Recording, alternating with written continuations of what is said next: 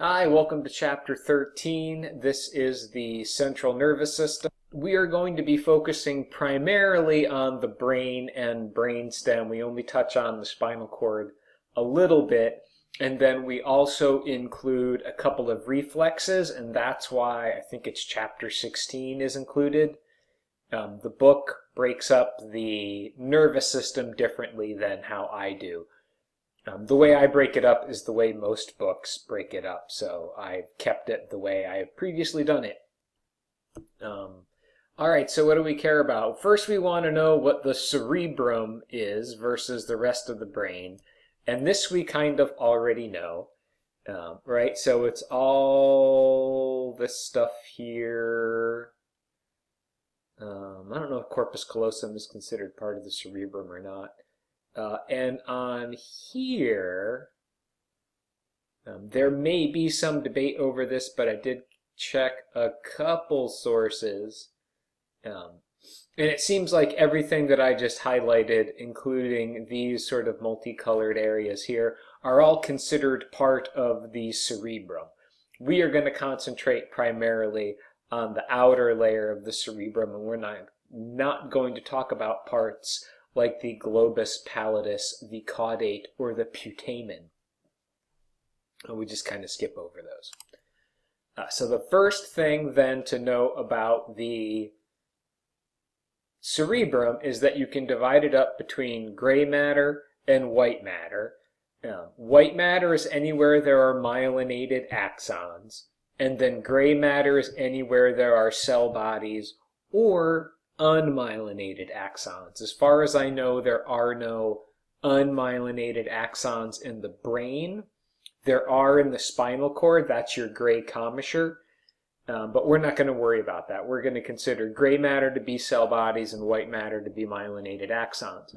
Which what that means for us is, right, white matter is information transmission lines going from one region to another region, and then the gray matter is where integration takes happen, where um, nervous signals end up, and also where they originate from and end up getting relayed somewhere else. Um, so those are, again, the integration centers. So starting on the outside, just this layer here, I thought this was going to show up. Apparently I needed darker green. Right, th this part right here, that thickness, um, that is the cerebral cortex, two to four millimeters of gray matter. This is where most of the conscious thought, um, perception, and conscious, conscious voluntary motor control originates in the cortex. Um, again, these regions down here are also considered gray matter. They're part of your cerebrum. They play a role in a lot of different things including both motor control and uh, this part right here, if my neuroanatomy is correct, that is your amygdala. Um, and it is where fear and anger, among other emotions, are generated, but primarily fear and anger. And it also allows you to understand or read emotions on other people's faces. It doesn't allow you to recognize the face. There's a whole different part of the brain that does that. Um, so then, back to just talking about the way the cerebral cortex works. Now, the first thing we need to know is that there is this thing called lateralization, which means the two sides of your brain don't necessarily do the same thing. Um, and then there's this other phenomenon called cerebral dominance, where one hemisphere is more dominant than the other hemisphere. Um, you do have primary motor cortex, in both of your hemispheres. One of them is stronger than the other. Um, so that hemisphere is what leads to being right-handed or left-handed. Um, and because your motor axons cross over the midline in the medulla oblongata, that is the decussation of pyramid fibers, didn't you want to know that? Um, that means that the right side of your brain controls the left side of your body and the left side of your brain controls the right side of your body. So if you are right-handed, you are not in your right mind, you're in your left mind, so to speak. Um, so the way it usually happens, the way the lateralization usually breaks now down in most people, but not always, is that the left hemisphere is for logic. Um, so language, math, and logic. When they mean language, they mean the literal interpretation of language.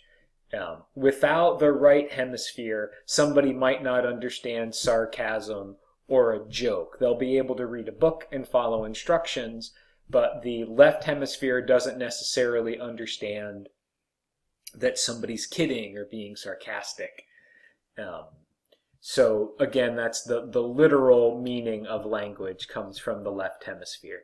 And then the right hemisphere is more involved in, as this says here, insight, visual spatial skills, intuition.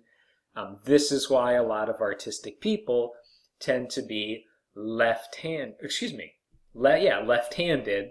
So right brain dominant. They're better at visual spatial skills, artistic skills, intuition, and they are then left-handed. Um, I say that it doesn't always break down this way. Um, some people have a flip-flop where the left hemisphere is the artistic spatial skills and the right hemisphere is math and logic. Um, I uh, had a, a friend who was a left-handed mathematician. She was extremely logical to the point of being difficult to understand sometimes because she didn't have a well-developed sense of humor. Not that all mathematicians don't, she just didn't. Um, moving right along, you don't care about my left-handed mathematician friend. Uh, let's see. We are going to go over different kinds of regions of the cerebral cortex uh, motor areas, sensory areas, association areas. We'll talk about each of them when we get closer to them. I will say that the way we cover the brain oversimplifies it to a large extent and makes it sound like each part of the brain is responsible for doing one thing. Um, and there are a lot of delegation of tasks within the brain that are location specific but consciousness, complex thoughts and emotions, really the things that make us human, are much more distributed. So multiple parts of the brain or multiple circuits spread throughout the brain are working together to help us generate thoughts. And that's really where our personality comes from, is all the different parts of the brain and how they interact. So we're going to go over three motor areas your primary motor cortex, your premotor cortex, and Broca's area. Uh, so first up is your primary motor cortex. Um, it is located, as this says, in the precentral gyrus. Um, you want to know for all of these brain areas where they're located and what they do. Um, so right there is your precentral gyrus, so the very posterior border of your parietal lobe. Um, that again is where your primary motor cortex is located. This is where all of your conscious motor signals or motor instructions originate in your primary motor cortex. So the neurons from here run down through your brain and down into your spinal cord, and then they activate the motor neurons in the ventral horn of your spinal cord and initiate voluntary motor control of skeletal muscle. Um, so what you need to know about this is, as this says right here, um, really it's two things. One is that your body is kind of mapped out on your brain, which to a certain extent just makes sense, right? The, the part of your brain that controls your foot is close to the part of your brain which controls your ankle and close to the part of your brain which controls your knee. It doesn't have to be this way, but it just kind of makes sense that it would be. You do have some special areas for your face, and I'm not sure what that is. Memory serves, that might be genitalia. Um, then the other thing is that you have a larger area of cortex dedicated to the parts of your body where you have greater coordination. Um, this is because those areas have small muscles and small motor units so that they have fine control over movement and force. that control means there necessarily has to be more cortical neurons. Um, so over here, I've just sort of drawn a picture to remind you, right? If this motor neuron right here represents one motor unit, that's a unit of control, then there has to be one motor neuron in the cortex to control it. So if you have more motor units, you need more motor neurons, and then you're going to have a greater area of the cortex dedicated to that part of the body. This goofy little picture here is called a homunculus. Um, and it, it's similar, you can see, to the homunculus that's mapped out on the brain there. Each part of the body is sized in proportion to how much of the cortex is dedicated to it. So you can see that lips and tongue and hands get a whole lot of cortical space dedicated to them because we need very fine control over our hands as tool users um, so that you can type and write and fix your car or your bike or whatever. Um, and then facial expression, uh, muscles of speech and muscles of swallowing. Those are all very important, complicated muscles, right? Performing speech is a complicated motor movement that you have to do properly, which requires a lot of uh, coordination, as well as coordinating facial expression. It's not something that we think about all that much, but it is a huge part of being the social animals that we are. We all make similar facial expressions across cultures, and we all read each other's facial expressions, so we have to be able to make facial expressions accurately so that we're all communicating the same way with our faces. Then uh, you get to the premotor cortex. It is right here. They don't really point it out. Um, well, they call it the motor association area. Um, I always draw it higher up, but maybe it's this low, who knows. Um, but it's just in front of the primary motor cortex. Um, this helps you do learned, uh, repetitious, or patterned motor skills. So think typing, texting, um, things that you do mostly with your hands, but uh, you know can be your whole body that you tend not to learn about, or excuse me, you tend not to think about. Um, I was looking at planning on the screen and thinking about learning as I said that.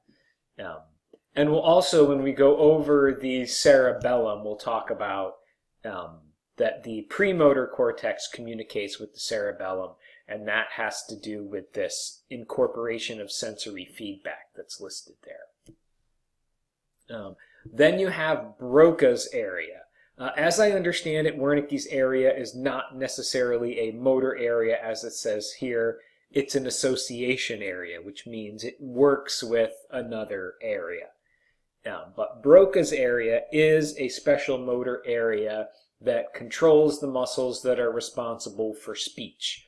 And it's hooked up to Wernicke's area because Wernicke's area is dedicated to understanding how words sound. Um, and so Broca's area was originally thought to be more of a cognitive area to understand what words mean because it would be active when people were speaking.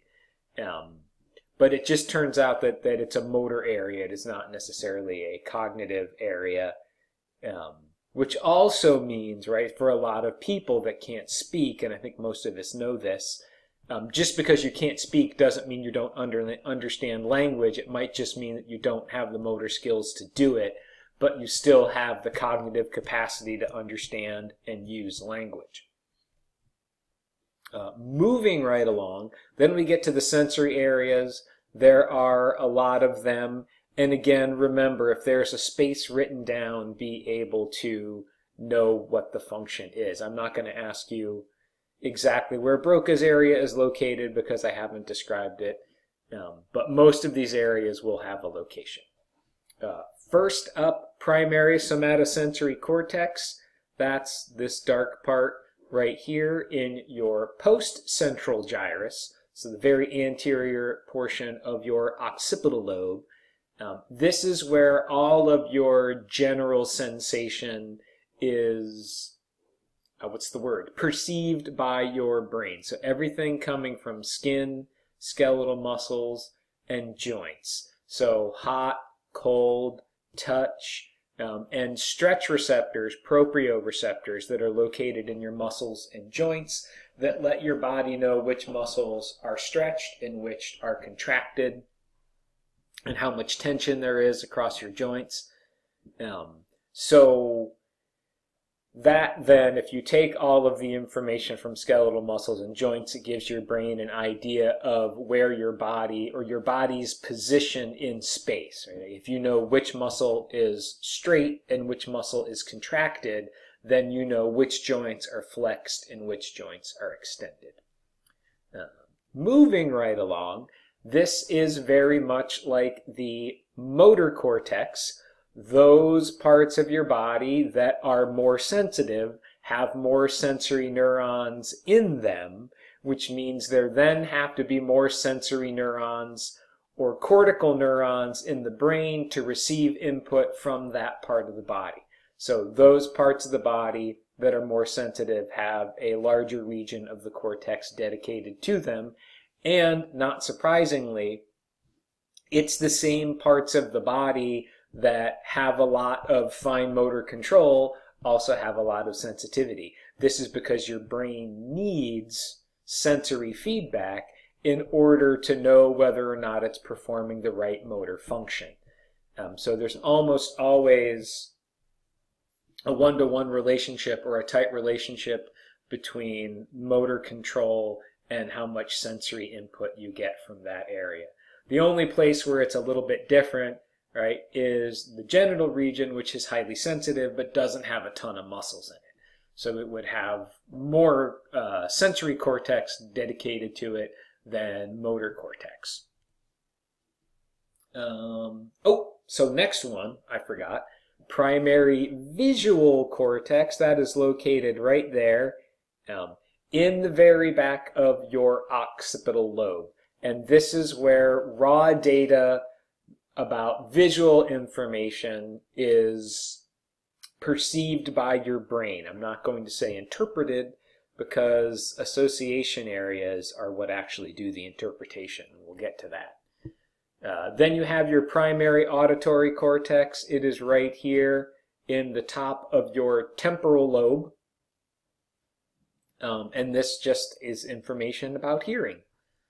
Now we'll move on. Primary olfactory cortex is also the temporal lobe, but it's the medial aspect of the temporal lobe. Um, and this is your conscious perception of odor or smell. Then your gustatory cortex is located here in a region of the cortex which is actually buried so it's called the insula, like insulation is found inside something. The insula is sort of buried deep in the hemisphere, but it is still cortex. And this is for your conscious perception of taste. Um, then you have association areas, um, which we're not going to go into really all the different association areas, but you want to know that you have one for every major sensory area. Like you, here's your primary visual cortex, here's your visual association area, auditory cortex, auditory association area, um, primary somatosensory association area. So what your association areas do is link perception with memory. So they take the sound, compare it to memories of sound, and say, oh, that's a car starting. That's my mother's voice. That's a cat. Um, I was going to say something wise about cats, but I won't. Um, so yeah, your it's your association areas that allow you to understand your sensations. Your other regions just get raw data on them, but they don't necessarily understand them. Um, Talking then about association areas is our segue into different fiber tracks um, because that is how your brain is connected up. So first up is just projection fibers. They carry information up and down the spinal cord.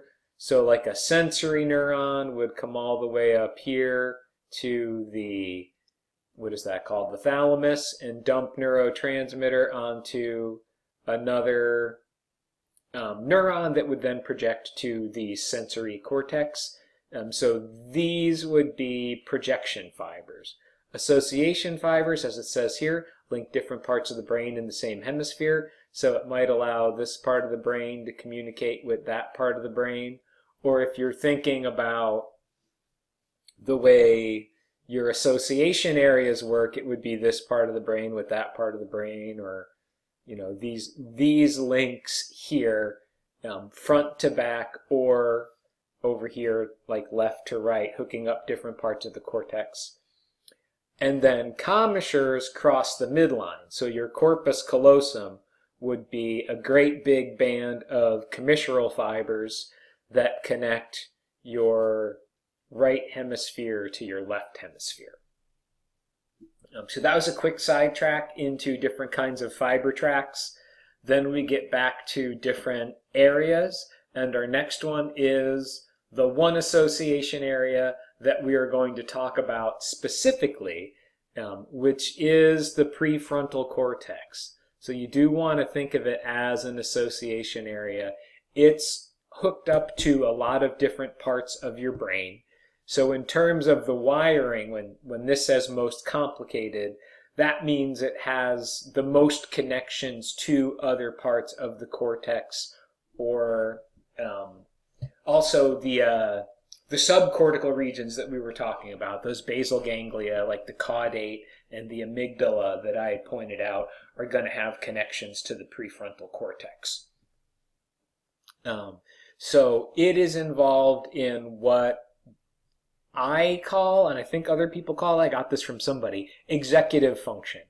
Um, so not just smarts, like as it says here, intellect and cognition, um, but it allows you to focus and regulate um, where reasoning and judgment, as it says here, come from. So it's kind of the part of your brain that helps tamp down emotion so that you can rely more on judgment and reasoning. The judgment or reasoning may not necessarily happen there. You need your whole brain for that.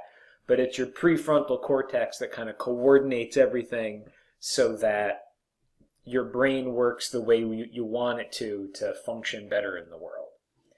Um, this is an interesting story about the prefrontal cortex. This is Phineas T. Gage, who received the world's first documented accidental prefrontal lobotomy. That's a mouthful. Uh, he was a railroad worker. He had, or was working with a large iron rod, a tamping rod. He was packing explosives down into a hole that would have been drilled to blow a hole through a mountain so they could run the rail lines. Um, and the explosives, I don't know if it was a whole lot of dynamite or just blasting caps, went off and it shot the rail, as you can see here, up through his skull. It went in just behind the zygomatic bone there, um, behind his eye. Miss, I don't know if it missed his optic nerve or not. It looks like his eye eventually just went shut. Um, but it went right through his cortex. Um, this is an artist's recreation of the skull. I think that's his actual skull, or maybe just a recreation of it. Um, and then over here is a computer generated image of the parts of his brain that most likely would have been damaged by the tamping rod. And you can see it's mostly left side and some of the right side of his prefrontal cortex that was damaged. Um, as you can tell from the picture here, he survived. He walked away from this accident, or walked away eventually. But he was never quite the same afterwards. Um, according to this description, he does actually is able to hold down a job, but was not quite as stable, quite as reliable, um, quite as calm as he used to be. He just got into a little bit more trouble, was more prone to get into fights. Um, again, because his emotions would get the better of him, because his prefrontal cortex wasn't sort of keeping everything in check. Um, and then this guy here, he's a jerk. Um, him, we don't like him. Uh, this is Dr. Walter Freeman. He developed a technique called transorbital frontal lobotomy. Um, I don't know why I include him. I heard a radio show about him one time and I thought it was an interesting, if not alarming and scary story. Uh, he was a physician. I don't know what his degree was in, like what kind of physician, but he was a doctor. Um, and he developed this technique where I don't know if you can see, he's got what looks like a reflex hammer almost, but no, it's metal, so it's not a reflex hammer. He's got a little hammer, and he takes what looks like an ice pick and puts it under the patient's eyelid and then taps, taps, taps on the pick to get through the very thin bones of the orbit and then slides the ice pick looking thing into the frontal lobe and scrambles the frontal lobe on one side, then slides it under the other eyelid, tap, tap, tap, scrambles the frontal lobe on the other side. Um, he did this a lot. He lost his license to practice medicine after sort of people realized, oh my God, why are you lobotomizing everybody? Um, postpartum depression, ADHD, um, all sorts of manageable mental health issues um, he would perform transorbital frontal lobotomies for. Moving right along, so now we are out of the cerebrum, that was quick, um, and onto the diencephalon, thalamus, hypothalamus, and epithalamus. We will start with the thalamus, and as it says right here, this is a relay station for sensation. Um, so all of your senses, with the exception of smell, because they evolutionarily predate the thalamus, um, all of your other senses pass through the thalamus on the way to the cortex. So here you have a an interneuron that is part of a sensory pathway that is going up the spinal cord and you can see it goes into the brain. It's going to dump neurotransmitter onto this purple neuron, and then the purple neuron is going to dump neurotransmitter onto a cortical neuron, which is then responsible for perceiving whatever stimulus was felt at the surface of the body. Um, so sight, taste, I think, um, definitely sound, um, and balance all of your other senses pass through the thalamus, just not smell. Um, that goes directly from your, um, I can't say olfactory lobe, which is not part of your brain. It's it's like the the bulb in your skull to the olfactory cortex. So it is part of the brain, but it's not part of the cortex. Excuse me. Uh, let's see. Then we are on to the hypothalamus. That is just below the thalamus, so that region there. Um, this is, as it says right here, your major, major autonomic control or integration center.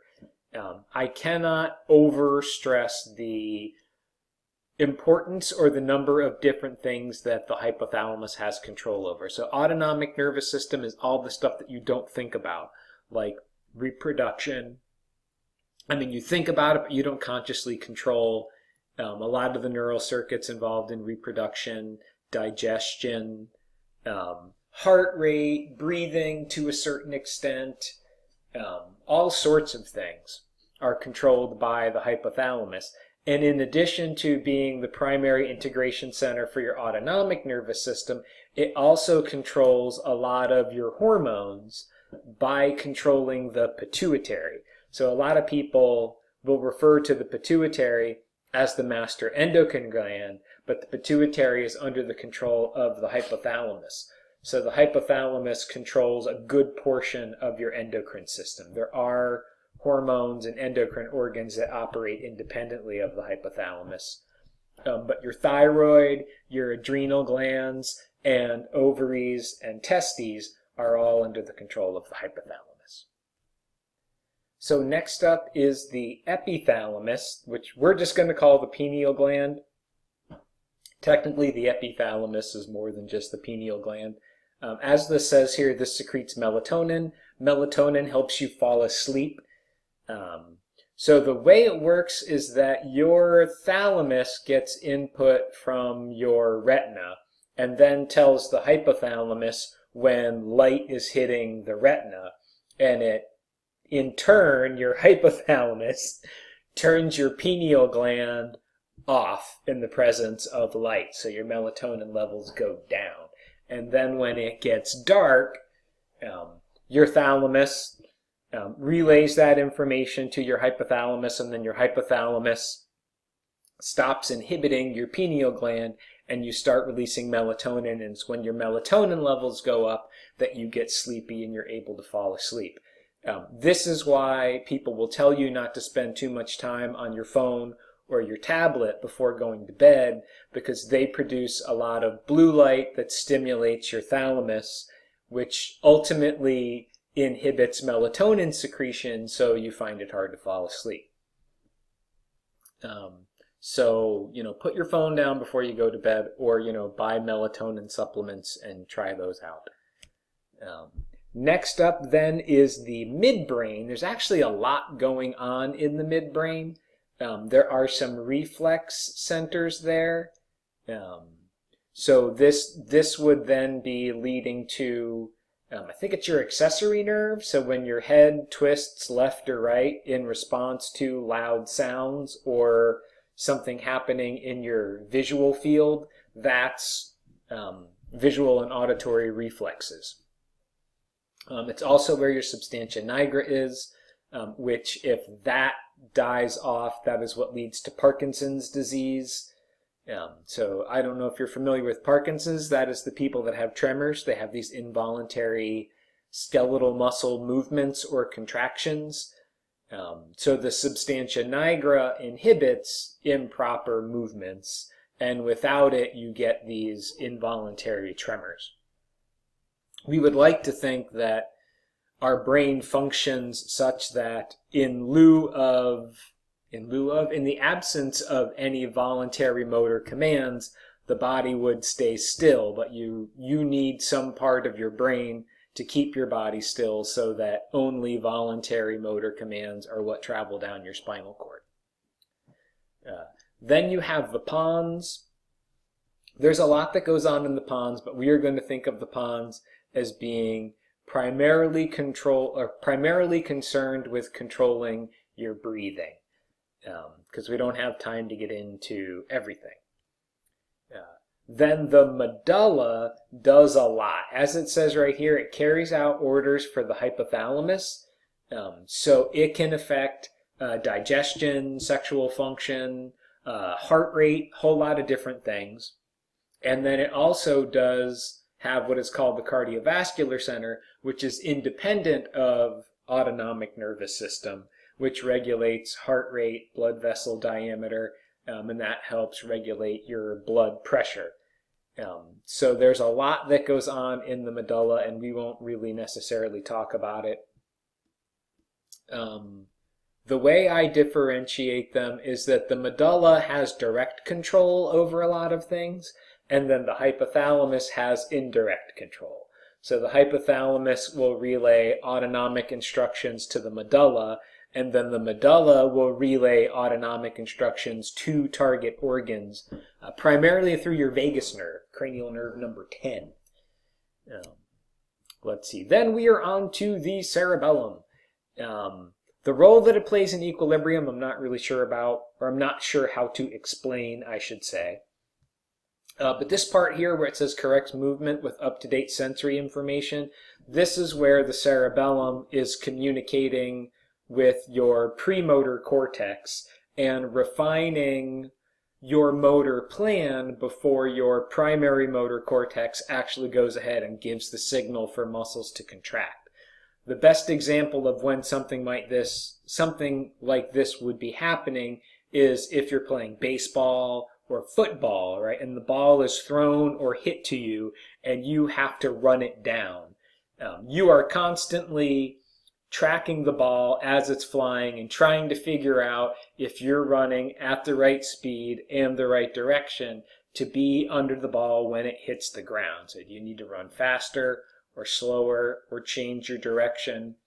Um, all of that updating of your stride based on what you see is done in consultation with your cerebellum. I just said in consultation with. I feel so smart. Uh, let's see. Now, deep breath. We're 34 minutes in. Um, probably stop soon just so that this whole thing isn't like an hour. Um, uh, up until this point, every thing we have talked about has been one discrete part of the brain, a, cortical region, a part of your diencephalon or your cerebellum. Here we have two different brain systems, so multiple structures distributed either throughout your brainstem or through your cerebrum that perform more complicated functions. First up is the limbic system. You want to know first what the parts of the limbic system are. They are listed here. Um, the amygdala that we talked about earlier is right here, um, which is basically at the end of the hippocampus there. Um, so your amygdala helps generate feelings of anger or fear, um, quite often by seeing angry and fearful expressions on other people's faces. Um, so it is hooked up to your olfactory lobe and your hippocampus. Your hippocampus is involved in memory formation. Um, so it is thought that the memories themselves reside in the cortex, but your hippocampus works with different parts of the cortex to solidify memory, to form long-term memories. So if you just look at these structures and think about all of them being connected, what your limbic system is doing is integrating memory, emotion, and sensation primarily smell. Um, and this is why we have such good smell memories and why emotion plays such a big role in memory. Like we usually um, have vivid memories of very emotional times in our lives because of that connection. And we also tend to remember lots of different smells and tastes, especially if it's something that made us sick, right? This is a survival mechanism here. If you eat something once, um, back in the days of being a hunter-gatherer before, you know, we had labels on foods in the supermarket, um, you wanted to remember if something made you sick so that you wouldn't eat it again. And this connection between smell, emotion, and memory is what solidifies that so that you don't eat that thing that made you sick again. Um, and so it's where all of those associations come from. You know, if you wake up and you smell tamales, you might think Christmas or maybe Christmas cookies. Um, or if you wake up and you smell the turkey, you think it's Thanksgiving, whatever it is. Smells bring back memories. Uh, next up is the reticular formation, which, as this says right here, is three broad columns of gray matter, um, but they also make connections to the cortex. Um, so there are axons that go project up into many different regions of the cortex. Our book does not have a good picture of the reticular formation, and this is the only picture I could find that was not copyrighted. Um, this is, I think that language is, um, well, I think that alphabet is Cyrillic. I have no idea what the language is. Um, it looks like Russian, but it could be anything because I don't know. Um, at any rate, the reticular activate the reticular formation or reticular activating system, I think of as the simple sim, the system that helps you concentrate. Um, so it filters out repetitive stimuli or weak stimuli, um, and um, it keeps your cerebral cortex awake and alert. Um, and those two things are what you need to do to concentrate. So you need to not get distracted by the feeling of your clothes on your skin or the ticking of the clock or the running of the refrigerator, and you need to be able to focus and think. Um, that's what your reticular activating system does. Um, I personally think that this is why a lot of people like to have some background noise when they're studying, because if it's constant repetitive noise, like white noise, your reticular activating system is going to filter that out. And then at the same time, it'll filter out more of the incidental noises, like somebody's voice or, you know, the, I don't know, the heat turning on and off. Like if you have a fan on next to you the whole time and the heat turns off, you're not going to notice it's quiet all of a sudden. Um, so some people like to have a little bit of constant noise in the background because then all of the intermittent noises don't bother them and as far as I'm concerned, uh, this is why. If you do want noise in the background, uh, I don't know if anybody's ever heard of the Mozart effect, uh, which is if you play music for babies, it makes them smarter. It doesn't. Um, this comes from some research that I think was done in Germany, but don't quote me on that. um, where they played music while people were trying to learn things. And if they had played, I think it was Baroque music, um, people learned better. And it was not because it was good music, but if, if you've ever compared Baroque to, say, classical, Baroque music is, is very, um, how should I put it? It's not very dynamic. This is before piano and loud brass instruments, so it just um, complicated, but not big changes in volume. So it is something that your brain could just sort of tune out. Um, so if you have, what's the word I'm looking for?